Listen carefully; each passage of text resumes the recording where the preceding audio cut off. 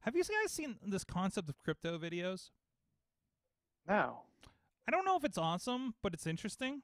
So the idea is that through blockchain, much like what Bitcoin or I think Dogecoin is on the same thing, you know that you know uh, blockchain everything. Uh, if you listen to certain startup-y kinds of things, but uh, the idea is that through you know the security of blockchain and and those kinds of things, you can purchase. We talked about collecting before the show with Funko Pops and comic books, Chilla. So Mhm. imagine that concept, but the idea is you own, say, a video.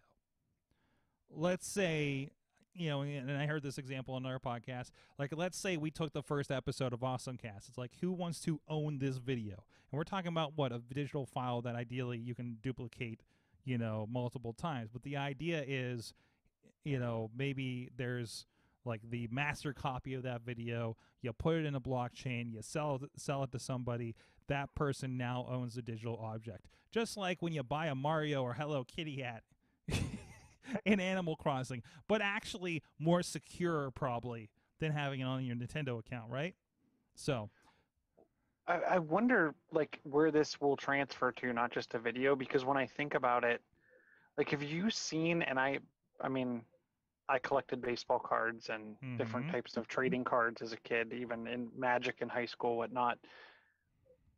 You can now download apps where you have to like buy virtual packs of Yeah. like Topps cards. Topps has cards. I think New Japan Pro Wrestling has one of those. Um, you know, multiple. Yeah, no, it's like here's a digital trading card thing, and again, it's just kind of attached to your to your phone account or something, right? Right. But now you could you could own the digital card and then trade would you trade the I guess it's like a key. Yeah, basically. So the con the, the biggest thing that that that example of this, the biggest um, thing that's taken off apparently is uh, something called if you go to NBATopShot.com, they are selling videos of moments from you know just you know just from from games, right?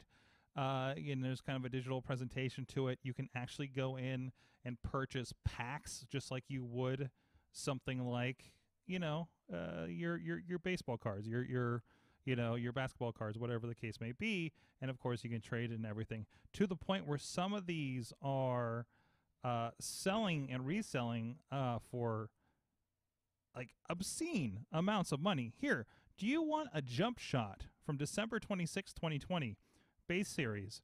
Uh, common, I think that means there's 15,000 of these.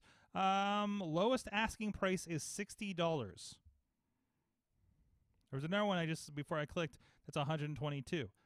Although, we can watch it, but do you own it? Highest price $222,222. What's weird is it's not like you own the rights to that clip. No, no uh, yeah, because like it's it's still owned by the NBA, right?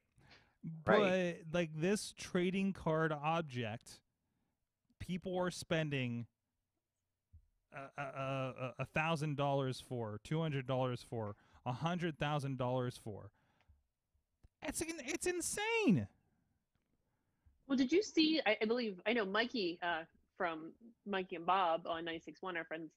Uh, they he was in line to buy them, and it was like tens of thousand. You are like number blah blah, blah like 60 some Mhm. thousand, and there's this many people ahead of you just to buy the card Yeah. to buy these. Yeah, it's um I, I don't I so looking at those prices, these are tech people, right? Have to be. Have to be tech minded people that even care about something like this.